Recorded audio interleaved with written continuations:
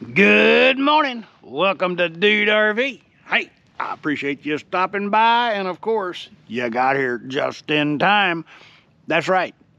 It's the first Saturday in February, and that means Dillo Daze.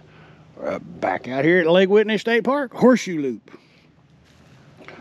That's where all the action is happening. Of course, it's been raining, so everything is wet. But we, I expected that, so put up a big tarp to keep all the the stuff dry.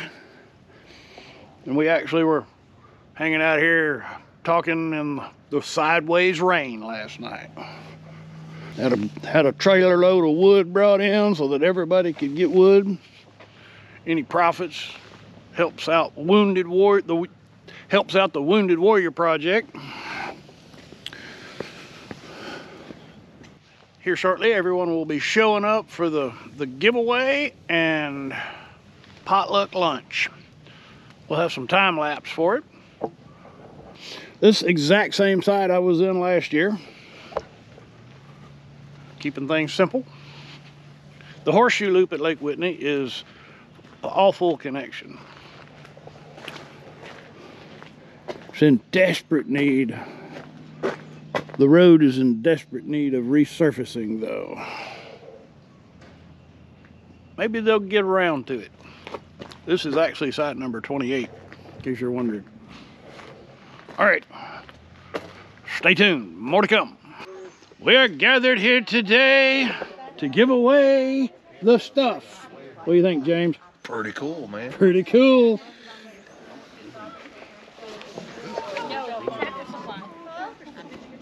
Food is arriving.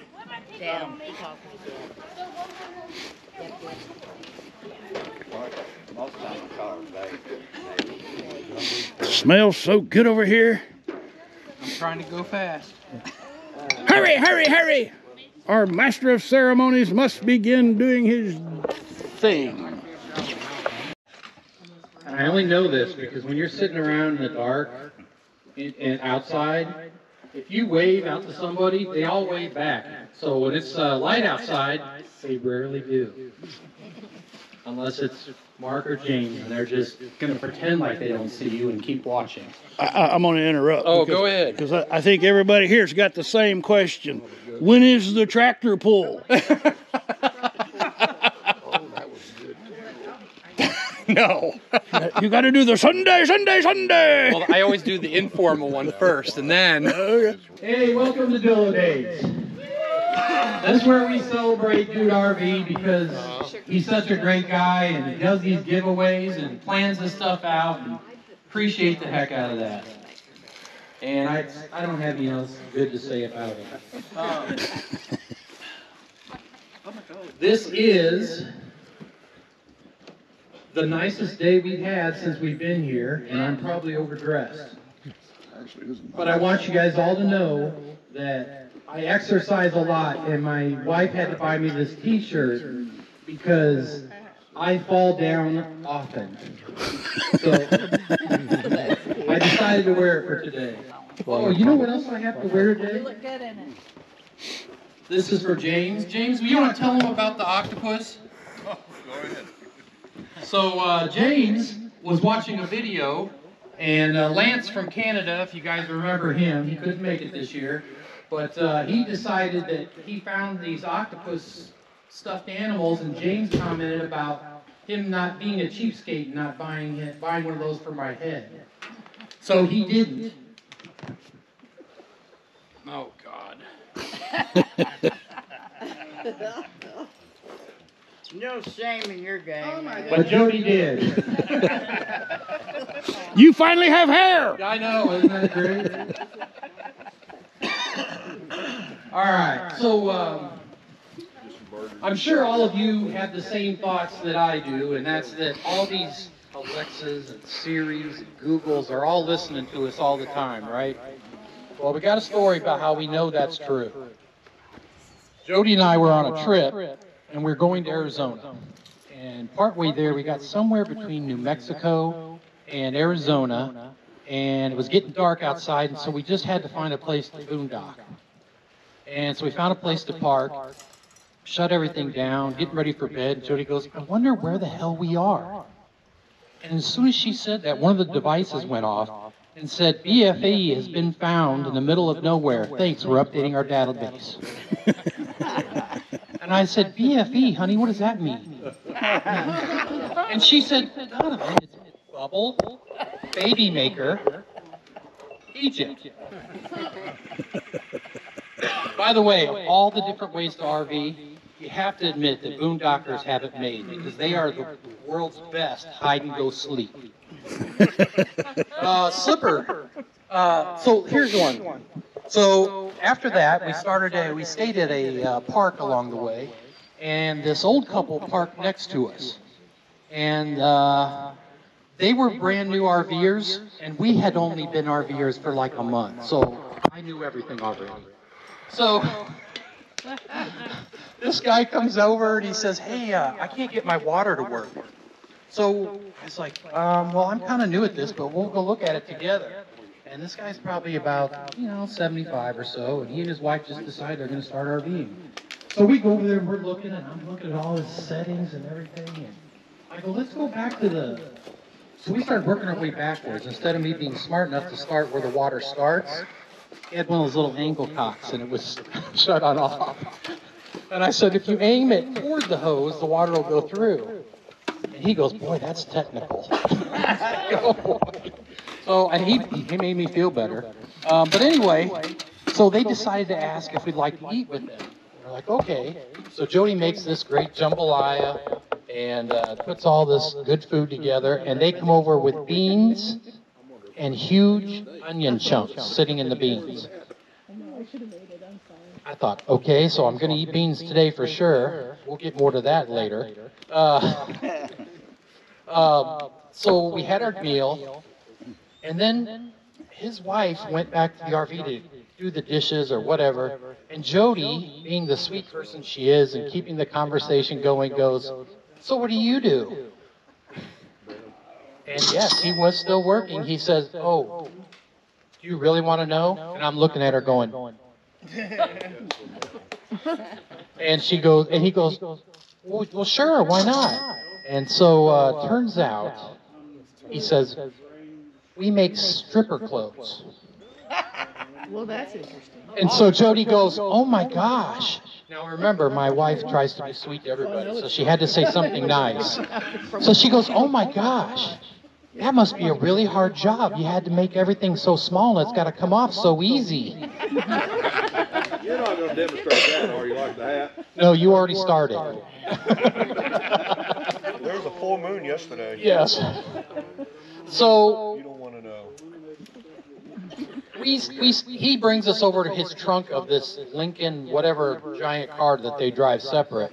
Opens the trunk and here's these giant photo books. I mean, huge photo albums of all the stuff they made with people modeling them. Now, here's the funny part. Fair enough. you go, oh, that's really cool. Okay. No, we're not leaving yet because here comes the trash guy. He's got to come over and look at it. And here comes the park ranger and they got to come over.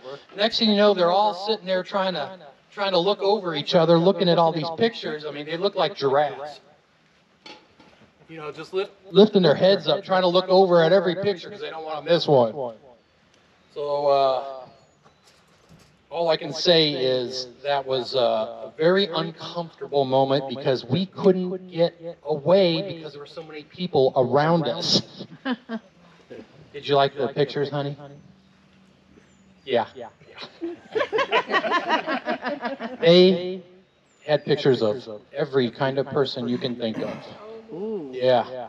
Uh, so we had an accident about three years ago, and we were stuck in a hotel while our RV was getting fixed right when COVID started and everything shut down. They couldn't get parts, so we were just stuck there.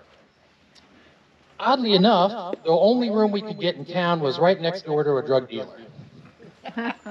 So at all, he was really quiet, great neighbor, but everybody that came by couldn't figure out which room was his, so they would knock on our door at all hours of the day.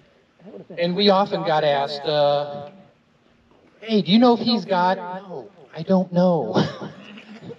We're not holding for him either, just in case you were curious. So I made an escape video when we finally got cut loose of that hotel. And uh, I was doing a uh, Animal House John Belushi scene where I was trying to sneak out of the hotel to the RV so Jody could drive us off into the sunset. So I was doing these kinds of things. Jumping over these little bushes and trying not to fall into that cactus because, you know, I'm not that agile. About that time, this lady comes out of her room on the first floor. And she goes, Oh, hey, are you from the news? I'm in shorts, tennis shoes, running over plants, and she wanted to know if I'm from the news. And I said, uh, No. She goes, Well, I said, Did you want me to interview you? She goes, Do I have time to fix my hair? And I'm looking at her clothes, and would you believe she's wearing Jerry Springer pajamas? White ones with Jerry Springer all over them. So I asked her a few questions. You know, I was like, uh, so how long have you been here? Do you feel safe at this hotel? Because I'm thinking, we sure didn't. Well, all the stuff is gone. The tables are empty. That worked out good. That that's not as much. So we don't have to take it all back. No more stuff. Nobody left empty handed. The feast was magnificent. I discovered after a while that there was uh, something sticky on the side here. Uh-oh. And some of the things were It's almost done. Actually, it is done. How amazing is this? The sun came out just in time. so, uh, the, yesterday turned out to be another beautiful day. So, if you didn't make it to Dillo Daze 2024, plan on making it to Dillo Daze uh, 2025. It was such a, it's just su- such a cool thing so so many great people. It just leaves me speechless. For all of you that attended Dillo Daze, thank you. I, I'm I'm so honored to call you a friend. All right, we're not done with this video just yet. And J RV Adventures, R R and J RV Adventures. All right, so we are out here with Dude RV. We came here for Dillo Daze. This is our first event with his community, and we had an absolute blast. Um, so what we want to ask you, dude, is this is your third event now, right? Well, Okay, third structured event, technically it would be the fourth event. fourth. Okay, my apologies. No, no, no, that's all right. So tell me how this all got started. Your your Dillo Daze, your Buzzard Daze. So I have been documenting public campgrounds. Uh, I guess I started doing it about 2014. Just public campgrounds. I, I never camp private campgrounds. Uh, I found a huge lack of information for myself when I was planning trips. And so I felt that if I needed more information, others probably needed more information as far as what, what do the parks look like? What do the sites look like? Do you even want to go there? Uh, and so I started journaling, video journaling the stuff in the campgrounds. And people found value there and started subscribing. Uh, I, I never set out to create a community. I just wanted to have a, a, a resource for the RVer, especially in the, in Texas. I'm a huge fan of Texas state parks, and I decided to make create a mission or set the mission of documenting all the Texas state parks where I could take my motorhome. I'm, I have disability issues and found there's a huge lack of communication uh, for the disabled person. So I felt that I was the, put on mission to help other disabled people go camping. And along the way, people started following and finding value. And over the last couple of years, we're, we're now at about 95% of the have I've at this point, I've documented about 95% of all the public campgrounds in Texas.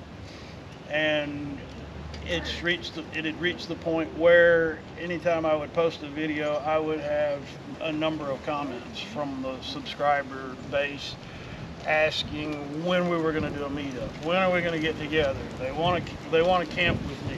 And I thought that was the weirdest thing. that is just, I'm a kind of a, yeah, I'm on YouTube, but I'm an introvert. Yep. I'm not a, I'm not a public kind of person. Uh, so last year, in I don't know, in the middle of the summer, the hottest part of the year, I posted a video and, and I had a dozen comments of that nature. When are you going to do a meetup? When are you going to do an event?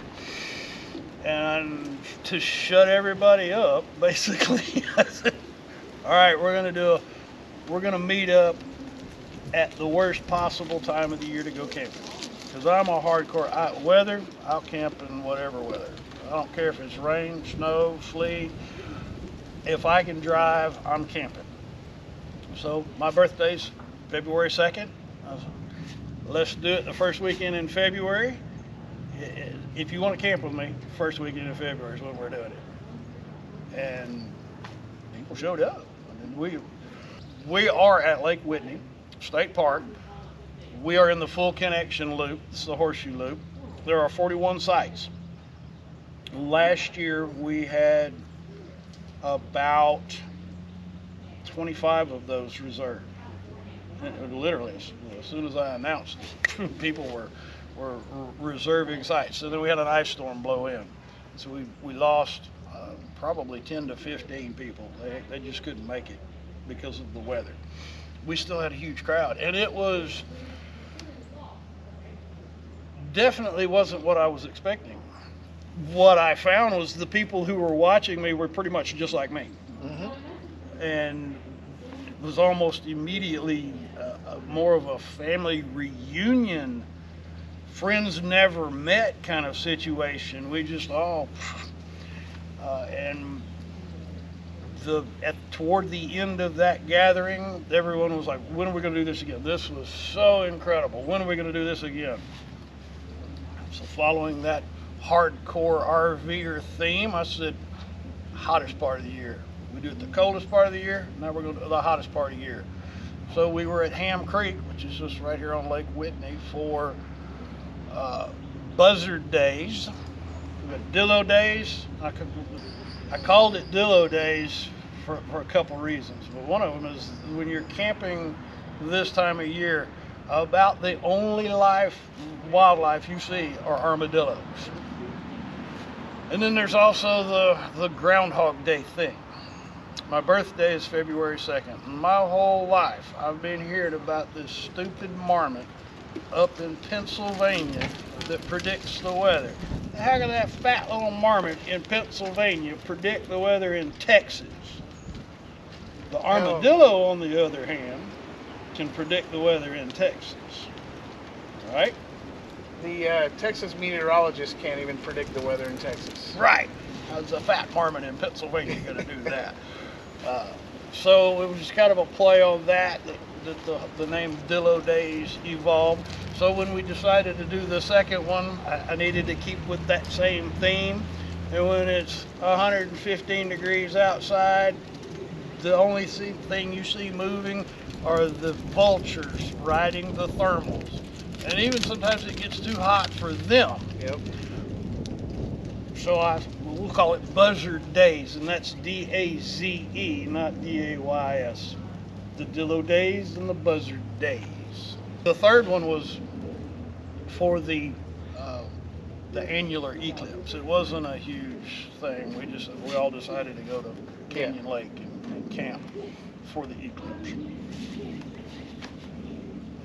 Well, I'll tell you, you definitely have some hardcore followers, especially uh, those of us that were under the tent in the middle of the thunderstorm. Now that's a memory you'll never forget. Never will. An experience you can't have anywhere else. Raining sideways. Oh yeah, soaked to the bone. Yeah, well, we, we definitely enjoyed meeting everybody here, and uh, we're going to try and be to Buzzard Daze this year. That's our plan, and that's the last weekend of August, Correct. and that's going to be at Cleburne State Park. Cleveland State Park. All right. We, we have reserved, because last summer, uh, we, we were in an open pavilion and it was really hot and a, a lot of the, a lot of people were, they were really struggling with the heat. Yes. Uh, so we decided to, to go someplace where, yeah, we're still camping in the heat, but we're gonna have our, our potluck and at the events, uh, I have companies sending me products every day. Uh, we're about to go full-time in the RV, so I don't, I don't have any space for stuff. So at the event, we give it away. And we need a location to do that. And so this year, we will be holding the event, the, the event indoors at the group pavilion at Cleburne State Park. The events, I, I, we, the hardcore people like myself, we show up on Thursday, uh, and we drink coffee and sit around the fire and just commune. And then on Saturday, we give away the stuff and have a big potluck meal and yeah, just be merry. Well, Ron and I, when we started our journey, you know, we, uh, my best friend that got us into camping, by the time we got a camper, he was too busy to camp. So we had to go out and make our own friends and whatnot. And along the way, we've come to several different meetups, you know, and one thing that's common is most RVers are like minded. The way we view life, the world, Correct. and it's almost an instant kinship when you talk with these people. Friends unmet. Absolutely. So, you know, we come in as pseudo friends online and we leave as family. Yep. So- And that was what my wife and I experienced for us. Because, you know, we, we meet people on the road, and especially since I started doing the videos, total strangers coming up and talking to us, and we, we meet them. But the event really drove it home for us that we actually have a much larger family than we realized. Mhm. We typically, most RVers, most campers are kind of a introvert. You don't, you know, you get to your campsite and you're just, okay, I'm just here doing my own little Yep. thing. The reality is the camper right next door, they're thinking the exact same thing that you're thinking. So They're friends that you haven't met yet. And if you open up a dialogue with them, you find that, holy cow, this is my brother. And one thing that somebody had taught us a long time ago is, you know, if you have extra chairs, put them out at your campsite. Most people will see that, stop, talk to you, you know. Yep. Make the effort, be open, and it'll happen. Build a campfire where they can see you. Oh, yeah. Especially one of your campfires. You can see that quite a ways away. You know, if you're gonna have a campfire for a group of people, you need to have a campfire for a group of people. Of those little pro, those little propane fireplaces, they don't put off any heat, Well, they're nice to travel with, especially when there's a burn ban. especially when there's a burn ban in Texas in the summertime. Well, dude, thank you very much for taking the time. We appreciate it. We had a blast this weekend and looking forward to doing it again this summer, hopefully. In the air conditioning, that'll be nice. So, Well, I want to say thank you to, to you and your family for coming and, and joining our family. Uh, it's it's just it touches my heart that people actually want to come camp with Dude RV. I still think it's kind of weird, but I, I dig it though. yeah, I mean, it, it definitely is weird, you know, when you think of the grand scheme of things. But. You know, in this world, all we have is each other, right? This is also true. and every day is a new day. You never know what's going to happen, and having some friends that might be able to help you along the way is not a bad thing. And it, it, with this community, one of the things that's, that just blows my mind is that everyone is so willing to, ready, ready, willing, and desires to step up and help their neighbor. Absolutely. And everyone that has that I've met in this community, uh, they've all ex- say the exact same thing. If you're in my area and you need help, call me. Yep. if, even if you don't need help, call me. Let me know you're in my area so we can get together and socialize or something. Mm-hmm. And we heard that a lot yesterday, talking meeting new people. Yep. Hey, you're down by Humboldt. Look me up. So it's a great thing. Well, again, thank you, sir, and uh, we look Thank forward to you. next time. And we'll see you down the road. My phone's ringing. And just like that, we're at Tranquility Base. I got an issue I got to deal with. if, if we're going to be here full time, I must improve upon my RV pad. Oh, had a, there have been a quite a few of y'all that have been wanting to know how things are progressing out here at Tranquility Base. So I thought I would include that in this video. You can see not much has happened. Grass has come in real good, so we don't have as much erosion going on. The pile of brush is about ready to burn, nice and dry. That's gonna make a big old, big old bonfire. The only thing that's changed in the green box is I added another tier of shelves on that end. That's your update. Well, not quite all of it. So the plan is for us to have the the other house on the market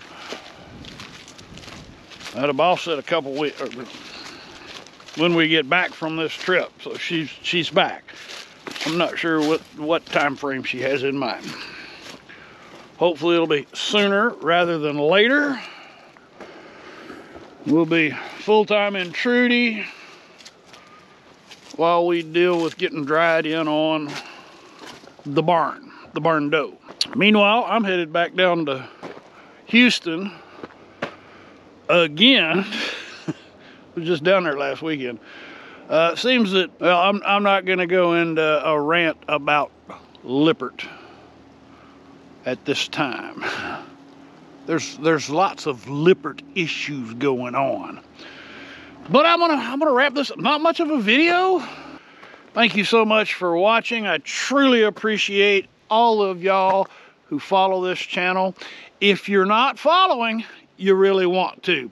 Click on that subscribe button and remember to hit the bell as well. That way you'll never miss another edition of the Dude RV Traveling Roadshow.